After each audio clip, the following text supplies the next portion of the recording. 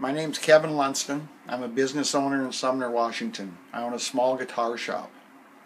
We're having a real problem in Sumner right now with graffiti and people tagging buildings. It's really starting to get out of hand. Uh, it's really doing damage to the area. It's making the area look real, almost gang ridden. And this is a pretty small town. And it used to be like Mayberry. And all of a sudden it's getting a lot of gang writing and graffiti and that kind of stuff. And me and some other people are trying to get it to a minimum. We've been to the city about it lately. I went to a big meeting yesterday night and uh, talked to the city about it and brought some stuff up. So instead, we started a patrol of four or five people. We take turns walking around, seeing if we can catch the kids that are doing the graffiti.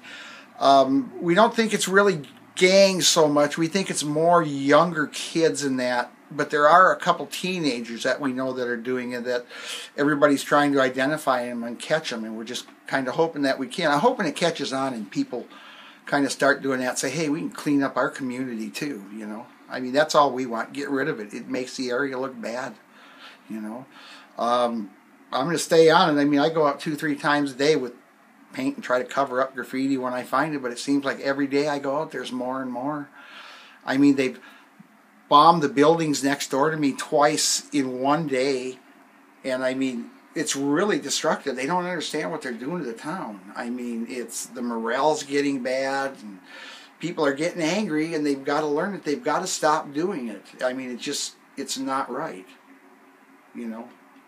And uh, I don't know what to do. I'm going to keep painting walls and reporting graffiti when I catch it and hopefully we'll catch who they are and we'll we'll get a stop to it you know, we've got a couple businesses here, and it seems like it's only the ones that aren't maintained, like it's an absentee owner.